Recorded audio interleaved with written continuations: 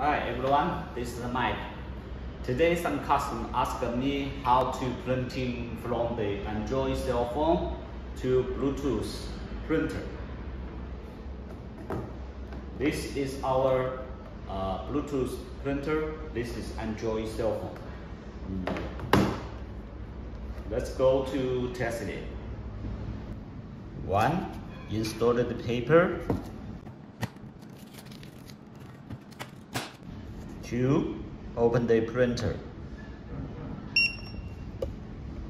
Three, download the apps, test apps from our website.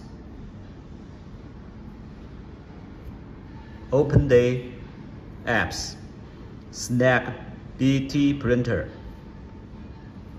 There be show the printer model on the list. Click and uh, end the printer test printer text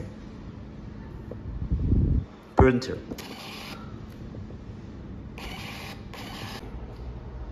Okay that's more. Mm, if you have any issues about the printer you can contact with me. I will make a video to you. Thanks. Bye bye